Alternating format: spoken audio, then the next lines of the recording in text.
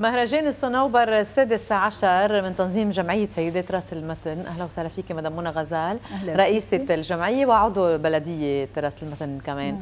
آه، للسنة 16 هالمهرجان آه، يلي طبعا بيدخل دائما الفرحة على نفوس مهرجانات بلبنان نحن مميزين آه، فيها مهما كانت الأوضاع شو ما كانت الإفادة أو الاستفادة أو اللا إفادة في إفادة معنوية وإفادة حلوة للأجواء يلي بتكون بالمناطق اللبنانية. ولكن أنتم كجمعية مش مقتصر شغلكم على هالمهرجان فقط إنما على أكثر من نشاط اجتماعي. خبرينا شوي. إيه، أنا كوني رئيس جمعية سيدات رأس المتن اللي هي تأسست سنة 1986 في عنا فيها رح بختصر يعني في مستوصف من أهم مستوصفات لبنان في كل الاختصاصات في مكتبة فيها 12 ألف كتاب في قاعة كبيرة للمحاضرات. بهالمناسبات هولي كمان نحن بفترات بنعمل كجمعية تشجير بنعمل عاملين نحن صنفنا رأس المتن سياحة واصطياف وبعدين أخذنا جائزة مدينة السلام للدول العربية بالمساهمة مع بلدية رأس المتن. هيدا على صعيد عدا عن مساعدات للتلاميذ المدارس أو المساعدات للمحتاجين أو الحفلات اللي بنعمل لهم إياها للأطفال. المهرجان اللي ببلش ب 26 تموز نهار الجمعة هو مهرجان يعني منوع آه، جدا آه، وبيبدأ ب symposium. نعم. خبرينا شو عن symposium موزاييك السنة عادة نحن بنعمل رسم موزاييك ونحت. يعني نحن من 2002 عاملين المهرجان واللي بتضيف معه الموزاييك أو symposium. السيمبوزيوم نحن صار في عندنا 150 ل 156 لوحة فنية رسم من أهم الفنانين إن كان بلبنان أو الدول العربية. وفي عندنا موزاييك لفنانين من آه، إيطاليا من آه، اليونان من فرنسا من لبنان من سوريا من العراق. هول كمان موزاييك في عنا منحوتات كمان لنحاتين من رومانيا من فرنسا من آه، من الدول العربية. كمان عندنا شيء 40 هيدي معروضات ولا سيمبوزيوم رح يكونوا عم يشتغلوا على الأرض؟ هول نحن عملناهم من 2002 لهلا. لليوم. هلا اليوم نحن في عندنا الموزاييك موزاييك اللي هو القطع البحث نعم. الصغير اللي في عندنا فيها أربع فنانين. الأربع فنانين هن الدكتور مصطفى عبيد الدكتور محمود أمهز والدكتور مفيد زيتوني. وفي عندنا فنان هو شاب كمان صلاح نبأ اللي هو كمان اللي مساهم بهيك ومساهم بتقديم التروفيات اللي هي من تصميمه هي خشب وبعدين منحوتة الحجر عليها اللي بتتقدم للفنانين بآخر الاحتفالات. هيدي آه، البداية رح تكون كمان آه، احتفال آه، كامل. شو برنامج الاحتفال؟ أول شيء هو الكشاف بيكون على طول بيساعدنا في عندنا الفرقه الكشفية برأس المتن اللي بدها تستقبل راعي الاحتفال اللي هو الأستاذ نواف الدبوس اللي هو رئيس الصندوق الكويتي الممثل المقيم في لبنان ورئيس بلدية رأس المتن الأستاذ عصام مكارم. بعدين في كلمتين لنا إلي وللأستاذ نواف ورئيس البلدية. بعدين في عنا آه، برمي على معرض الأشغال اليدوية اللي هو من شغل سيدات رأس المتن اللي هو شراشف التطريز وال fr: organdi وال dentelle bretonne وغيرهم. بعدين بنرجع ننزل للفنانين الموزاييك فنانين الموزاييك اللي هن كمان بيكونوا الشباب يعني عم بيتعلموا على إيدهم لأن لما عم نقول إنه من 2002 صار في عندنا مجموعة شباب وصبايا صاروا بيعرفوا هذا الشغل الدقيق الحلو اللي هو الموزاييك حلو لأنه يعني هيدي شغلة حرفية كثير دقيقة وعادة يعني مع تطور آه، العصر ما بقى هالمواضيع هالقد آه، حساسة ودقيقة يكون عندهم قبول عليها الشباب وبلشت تنقرض نعم, نعم بلشت بس عنا نحن لا بنشجعهم شوي ليكونوا وحاطينهم نحن كليتهم حاطينهم برأس المتن يعني حاطينهم على الحيطان حاطينهم بين البيوت يعني صار في عندنا قطع كثيره للموزاييك غير القيمه الفنية كمان تبين إنه هالنوع من الأشغال بتنمي العقل بطريقة ما بتقدر تكنولوجيا يعني هيدا اللي هيدا اللي بدي أقوله إنه بتنمي لهم عقلهم للشباب الصغار وبصير في عندهم الحس الحس الفني الحلو. يعني حتى اللي ما بيكون بيعرف هو طريقته مش كثير صعبة لأنهم أول شيء بدهم يحطوا البحث بس هو الرسمة اللي هي موجودة. هي اللي بتكون صعبة بس كثير عم بينبسطوا فيه. نعم. آه، برنامج كمان رح يتابع فاذا جمعة 26 تموز كمان آه، سهرة فنية. نعم. سهرة فنية في منتجع الباينلاند اللي هو منتجع كتير مهم بالمنطقة.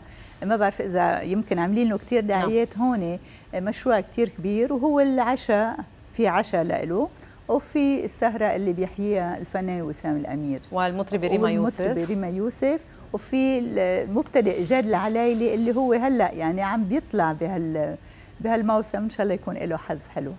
الجمعة 2 أب كمان كمان عندنا 2 أب في عندنا سهرة فنية لهاني العمري. هاني العمري برأس المتن اللي هي مجموعة شباب والصبايا كمان لنحسسهم هيصة يعني اللي بحب الهيصة كثير من شباب وصبايا.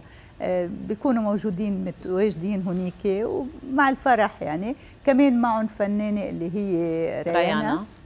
وجاد وجاد اللي كمان بيعطينا هيك غنية للجيش اللي هو عم بألفهم وبيلحنهم. يعني بدنا نجرب نطلقوا لأنه في عنا كثير إطلاقات كانت من رأس المتن. يعني منهم من المهرجان؟ منهم سارة هاني. يعني سارة هاني اللي نحن أول ناس أطلقناها برأس المتن. أه، بيتابع البرنامج الجمعة 9 آب كمان مع سهرة قروية. كمان. السهرة القروية اللي هي كمان بتضم بتجمع كثير شباب وصبايا على اللقمة الطيبة اللي هي المناقيش وال المناقيش والاكل العربي الأكل اللبناني اللي هو التراث اللبناني اللي نحن بنضلنا حابين انه يكون متواجد على الساج يعني يكون الساج موجود يكون الشباب والصبايا تكون الدبكة تكون الفرحة اللي هي اليوم عم تنقص بلبنان عم تنقص لشبابنا والصبايا اللي عم بيهاجروا اللي نحن هون عم نشجع يضلهم موجودين لنقدر نعمل لهم شيء فرح حلو بال, بال... اذا عشاء قروي مش بس بالأكل بس بالأجواء كمان. من كل بد سهرة قروية. سهرة قروية اللي هي الدبكة والفرح والأغاني وال... بعدنا بالجمعة 9 آب كمان في توزيع الدروع على نعم. الفنانين يلي على الفنانين اللي كنت عم بحكي إنه هن من تصميم الفنان صلاح نبا اللي بيعملها الخ... قطعة الخشب مع المنحوتة الحجر اللي هي بنقدم لهم إياها للفنانين، الفنانين بيبقوا عندنا موجودين براس المتن وبالجمعية آه، كل الوقت. يعني ما بيروحوا على بيوتهم بيكون في عنا سهرات معهم. مع الشباب والصبايا ليعطون بعض المعلومات كيف بيرسموا أو كيف بيحطوا الموزاييك أو كيف بينحتوا. يعني سهرات ثقافية فنية آه، حلوة أجواء حلوة ورك شوب تقريبا. نعم. آه طبعا يعني مهرجان من هالنوع فيه هالقد تفاصيل بياخذ معكم شغل كثير سيدات راس المتن أكيد هن اللي عم يشتغلوا ولكن بالتعاون مع مين؟ يعني أول شيء بالتعاون خلينا نحكي شوي ماديا لأنه ما كان في عندنا كثير ماديا. يعني مثل بنك BBAC أو مثل بنك FNB أو مؤسسة محمود حطاب أو بنك عودة اللي هن بيعطوا قليل بس هن بيقدروا بي يعني بيساهموا كثير فيهم. آه، وبعدين في عندنا مساهمات من أشخاص من رأس المتن يعني أشخاص أنا كثير بشكرهم وبينهم رح بذكر أسماء يعني رح بذكر اسم الأستاذ فيصل الحلبي اللي هو طلع رجل عام 2011 بس هو ساهم كثير برأس المتن وهلأ عم بيساهم لمشروع مهم لرأس المتن. هيدا أنا بحس إنه اللي بيساهم لازم الواحد يذكره.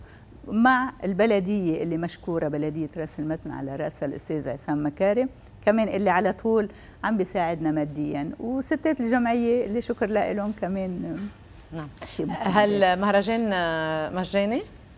تقريبا مجاني. تقريبا مجاني نحن بنقوله يعني إنه لما بيكون في ب 10000 أو ب 5000 أو تبرع. يعني في حفلات إنه صح ما فيها مصاري بس في تبرع لها اللي هي بنقولها هيدي اللي بحاجه لها الجمعية.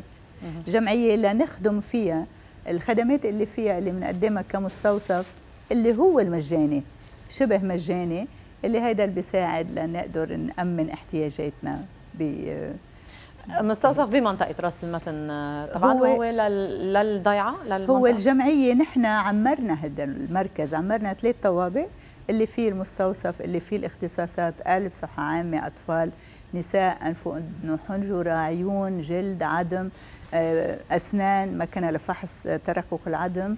آه، بعدين في عنا الفيزيوثيرابي وفي عنا آه، كمان يعني هول كلياتهم موجودين بهالمبنى اللي نحن عمرناه اللي من 86 نحن ابتدينا فيه 1990 ابتدينا ودعنا أول حجرة تاسيس كيف بتأمنوا كل هالاختصاصات في مستوصف مجاني؟ الأطباء الأطباء الموجودين شبه مجاني نعم. أنا عم بقول في مساعدة من وزارة الشؤون الاجتماعية في مساعدة من وزارة الصحة وفي المساعدات اللي هي آه، تبرعات الناس. يعني نحن حتى إذا كان في حدا توفى برأس المتن بيقدم عن روحه تبرع للمستوصف اللي هو يعني هي خدمة لكل المحتاجين. حلوة المساعدة والمساندة طبعا دائما ضرورية. نرجع نذكر فاذا المهرجان رأس المتن بيبدأ ب 26 بيبدأ شهر. 26 بالافتتاح الساعة 4 بجمعية سيدات راس المتن بافتتاح مع معرض بنرجع الساعة 8 ونص بنكون بمنتجع ال Pineland للسهرة الفنية مع الفنان وسام الأمير.